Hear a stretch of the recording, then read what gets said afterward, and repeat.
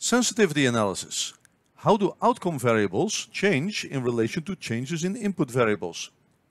In this Excel file, we will perform sensitivity analysis using the input variables right here at the top.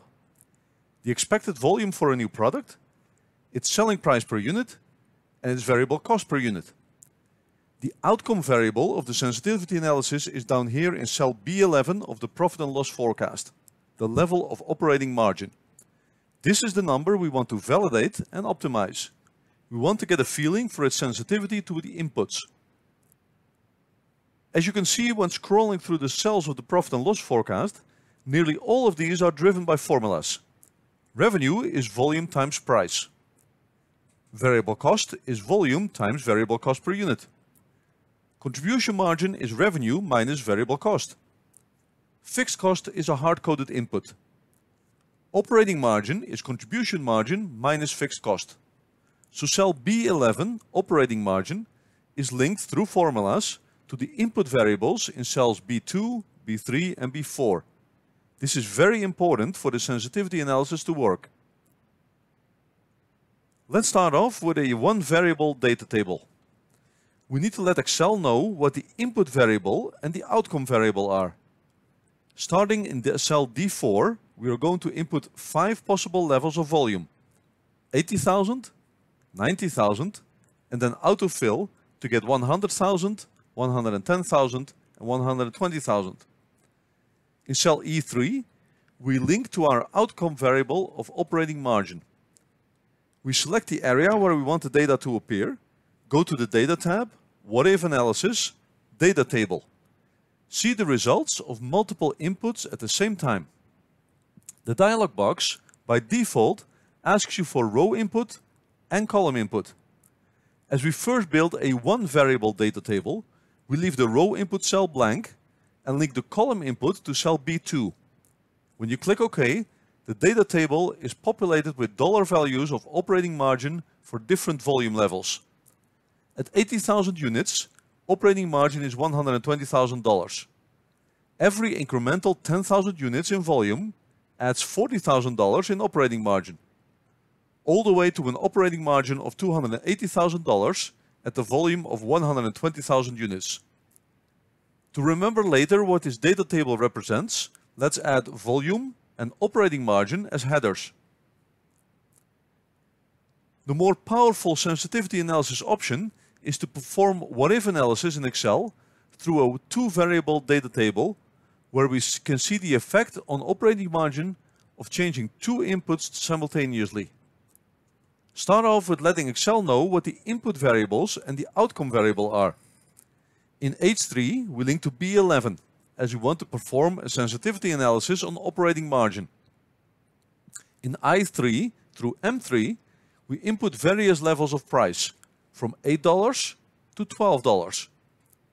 In H4 through H9, we want to have various levels of volume from 80,000 units to 120,000 units.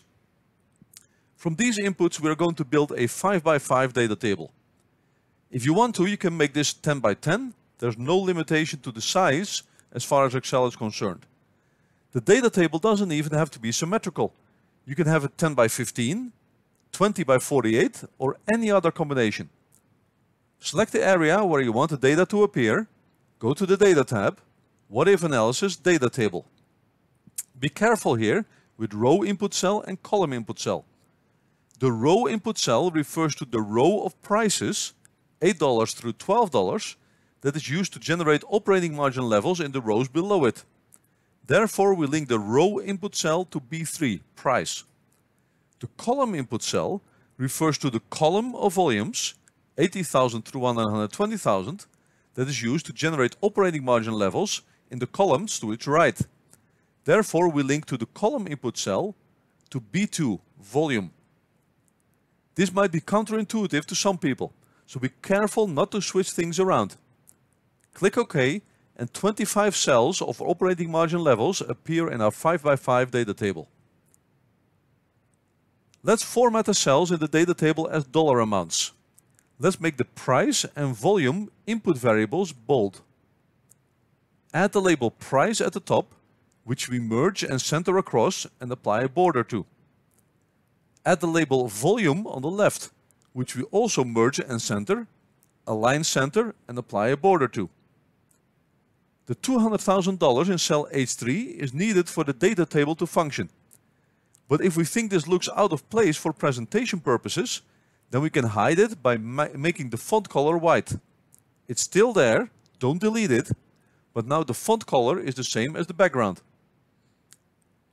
On the Home tab, we can apply conditional formatting to the values in the data table.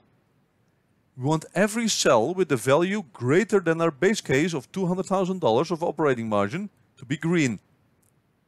We want every cell with the value less than our base case of $200,000 operating margin to be red. We can even set an additional formatting rule for cells with an operating margin less than zero, loss-making situations, through custom formatting to show in bold black font with a dark red background. This is where sensitivity analysis in Excel can provide very important insights. At our base case of 100,000 units, sold at $10 per unit, the expected operating margin is $200,000.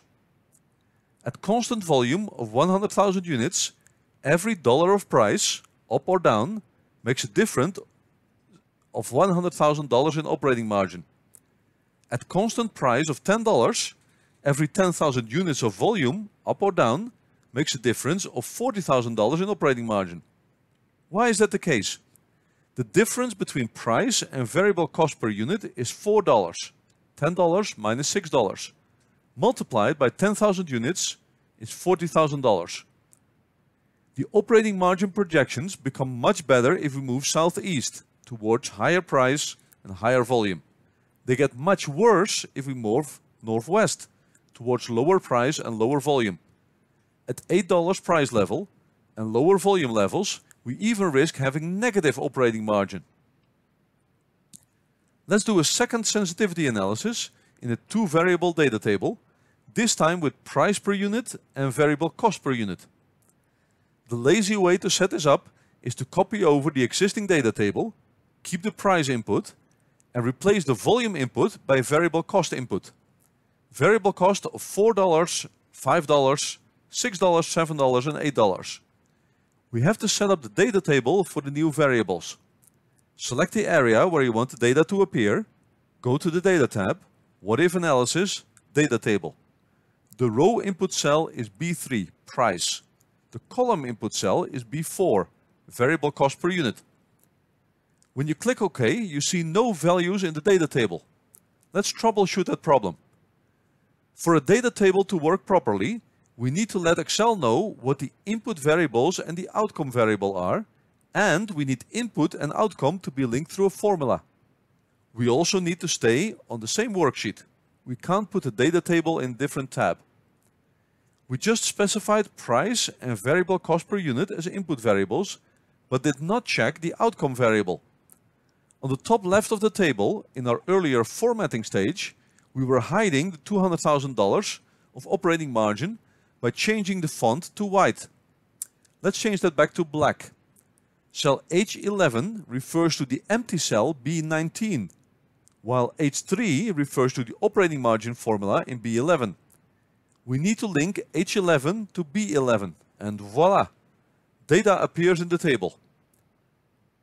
By the way, another common troubleshooting item that could cause a similar issue is your workbook calculation settings. Go to File, options, formulas, and make sure that workbook calculation is set to automatic. What we see here is that as long as the difference between price and variable cost per unit is $4, the operating margin is $200,000. For every $1 increase of price or decrease in variable cost per unit, the operating margin goes up by $100,000. If price goes down and variable cost goes up, you get into the danger zone of negative operating margin. We could insert a third table, data table to perform a sensitivity analysis of input variables of volume and variable cost per unit on operating margin. This might provide additional insights. However, we cannot accommodate more than two variables into a data table in Excel. If we want to change all three input variables at the same time, we can use what-if analysis Scenario Manager. But that's a different story.